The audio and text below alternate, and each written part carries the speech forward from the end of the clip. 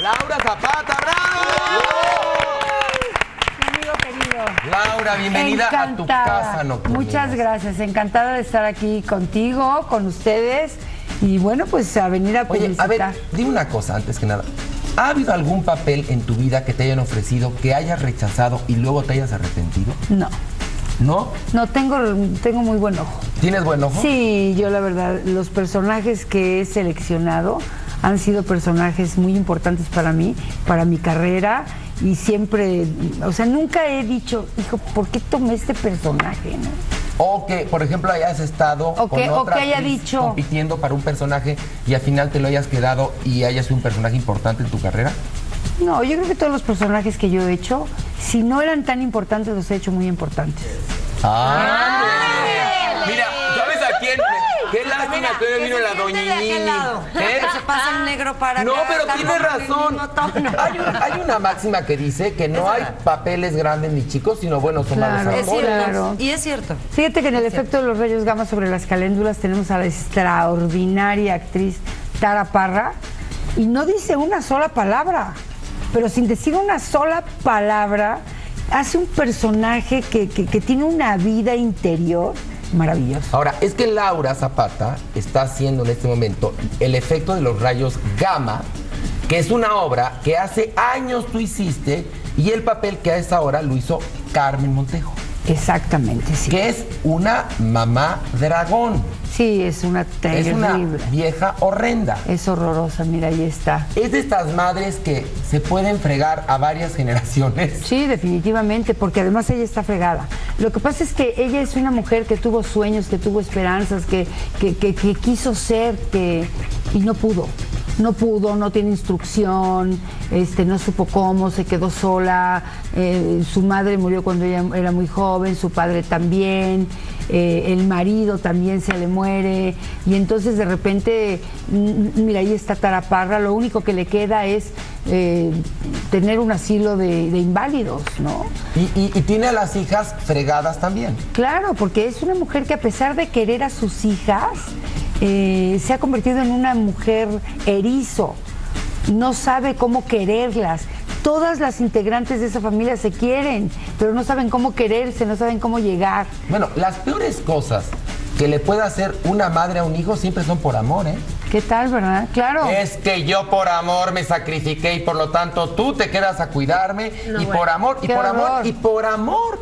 Por eso funciona. Este personaje, tú bien lo sabes, no sé si el público lo sepa, lo hizo John Woodward, la mujer de Paul Newman.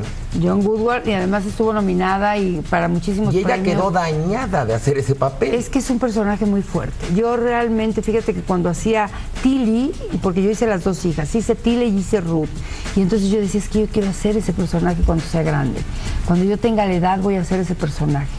Y es un personaje muy difícil, es un personaje de verdad que a mí hay momentos en los que me cuesta muchísimo trabajo porque, porque es un personaje, es, es, es horrendo de repente, es un Oye, ser humano. tú eres una actriz muy intensa. Sí.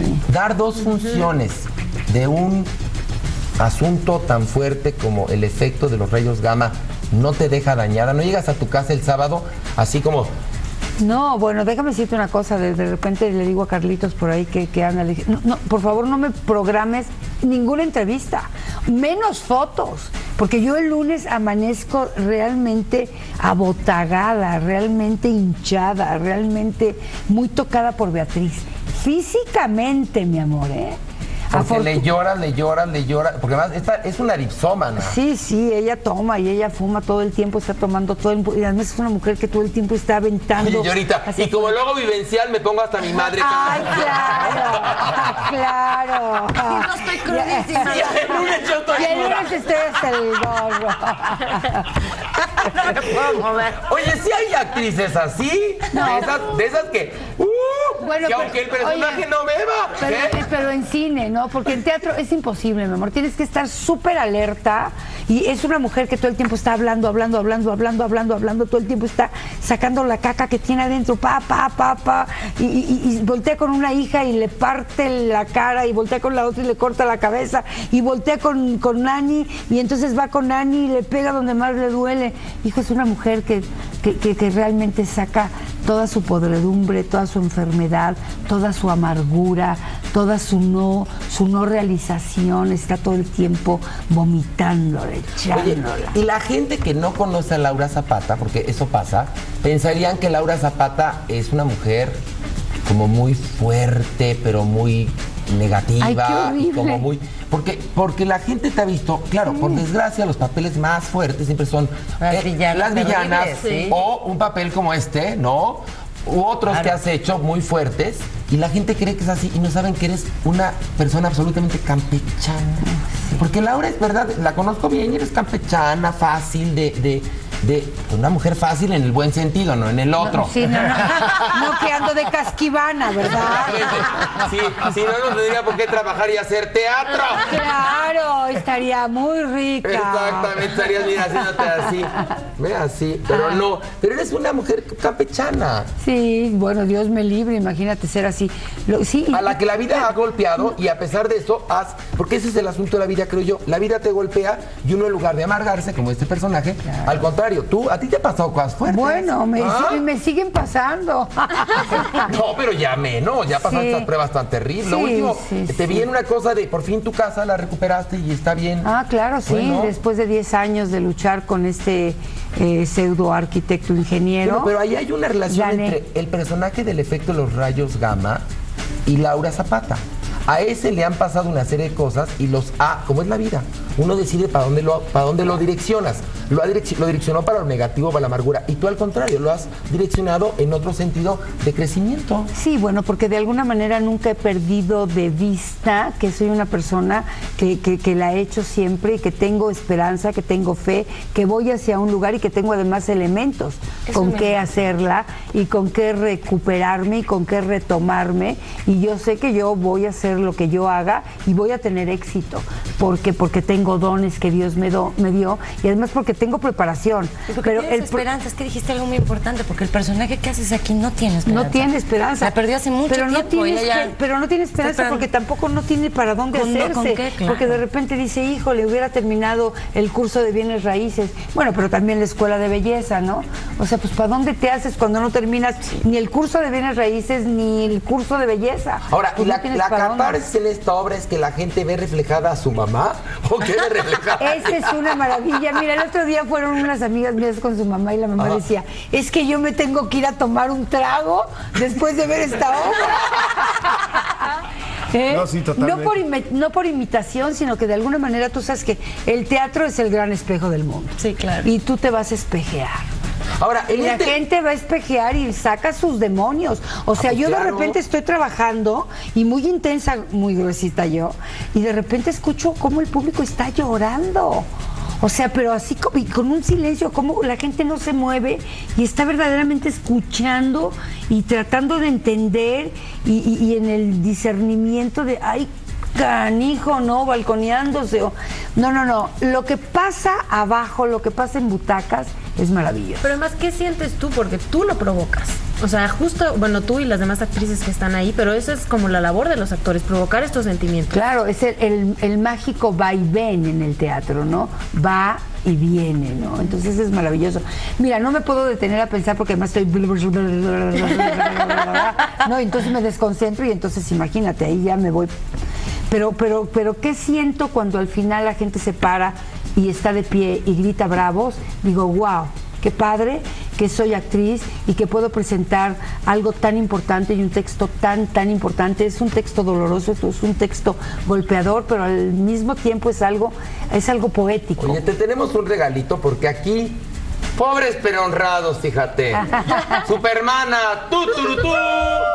Preséntale al artista en El cuestión. super mega mana caricaturista Moret te hizo una caricatura a, A ti ver, específicamente. préstamela, por favor. Ahí está la Mira, caricatura. ya no tienes que ir a Disneylandia. ¡Qué bonito! Mira, Laura Zapata. Cortesía de Nocturnino. Está precioso, Con todo. Gracias. Mira, Oye, ¿eh? Oye, y además disfrazada de Betty. Claro, con, mi, con bata de Betty. Está padrísimo. Muchas gracias. Pero- Qué bonito. Pero Laura en reciprocidad Gracias, Moret. nos Muchísimas ha regalado 10, 10 boletos dobles para la primera función del el día viernes de mañana, que es la un- Es la única única. función, 8.30. 8.30. 8.30 en Teatro Virginia Fábregas, que está en Velázquez de León. ¿Qué número? Híjole, no. Velázquez de León, No atrás de Teatro San Rafael, ¿no? Para que, para que Eh, eh, este... En el conjunto Fábregas. En el conjunto, Fábregas. en el Centro Teatral Manolo Fábregas, en Velázquez de León, eh, ahí está el Teatro eh, Virginia Fábregas, la función 8.30, llamen al teléfono que aparece en pantalla. Estás viernes, sábados y domingos. Viernes, sábado y domingo. Eh, viernes una función, sábado dos funciones y domingo dos funciones. De verdad no se lo pueden perder. Es una obra además multipremiada. Es, fue un premio Pulitzer cuando en los inicios de los 70 salió, lo- fue premio Pulitzer. Es un premio OBI, que es el premio OBI, es el premio al texto dramático más importante. Ok. Es un premio Tony, que es el premio que otorga la crítica de teatro en Nueva York. Tú sabes que No, no es el que da Tony Balardi, ¿eh? El premio Tony, el premio más importante del teatro, el que da Tony Balardi. Ya ves, sí, te adoré, te adoré, te adoré. Es un obrón, Sí, punto. realmente, es Vayan- algo que no se pueden perder. Vayan a ver Tienen a, que, a Laura Zapata, tienen que ir al teatro, la Tienen verdad. que ir al teatro. Sí, dicen los psicólogos que los seres humanos siempre estamos buscando eh, estímulos, ¿no? Y este es uno de los grandes estímulos, el ir al teatro. Lo que pasa es que mucha gente no lo sabe, no lo reconoce y no saben cuánto se pueden llegar a alimentar Claro. o cuánto puede llegar a Bueno. cubrir sus necesidades. Yo te lo juro, Una obra de sí, teatro acabas de sobre decir todo algo muy como importante. Yo creo que alguien que vaya a ver esta obra de teatro es un año de psicoanálisis. Ahí está. Así, Sin duda. Ahí está. ¿cómo? ¿Qué pasó? Sí. Bueno, vayan a ver a Laura Zapata, nuestra querida Danilita Luján y un gran elenco en El efecto de los rayos gamma, Teatro Virginia Fábrega. Vamos un corte. Laura, gracias. Muchas gracias. Gracias.